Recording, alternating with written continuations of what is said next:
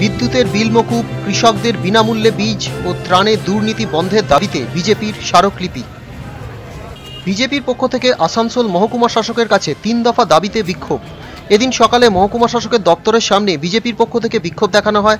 পাশাপাশি মহকুমা শাসকের হাতে একটি স্মারকলিপি জমা দেওয়া হয়, যেখানে তিনটি দাবি রাখা হয়।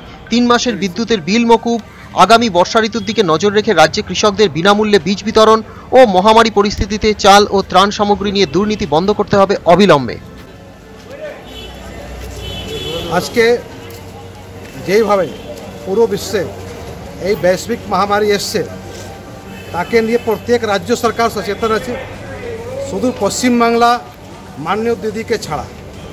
প্রত্যেক রাজ্যে আপনি দেখবেন যে এরকম দিল্লিতে, উত্তরপ্রদেশে, রাজস্থানে, মধ্যপ্রদেশে বিজলি বিল মাফ করা হয়েছে।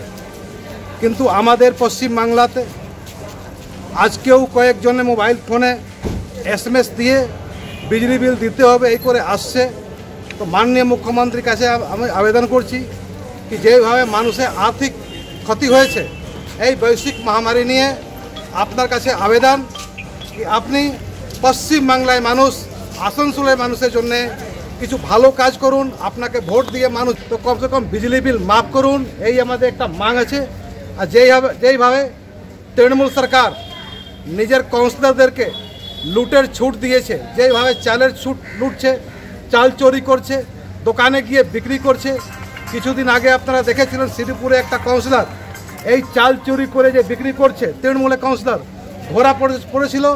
তার জন্য আজকে বিজেপি উত্তর বিধানসভা থেকে আমরা সবাই এই প্রতিবাদ করছি। লকডাউন পরে আমরা রোডে নামবো, ব্যাপক আন্দোলন করব, আমরা চাক্কা জাম করে দিব, কিন্তু পশ্চিমবাংল সরকারকে মাননীয় দিদিকে সচেতন হবে, হতে হবে, মানুষের পক্ষে কাজ করতে হবে। আমার নাম হচ্ছে মদন মোহন চৌবে, আসানসোল, সাংগঠনিক জেলা বিজেপি সেক্রেটারি আসানসোল থেকে সৌমিত্র গাঙ্গুলি, টাইমস বাংলা।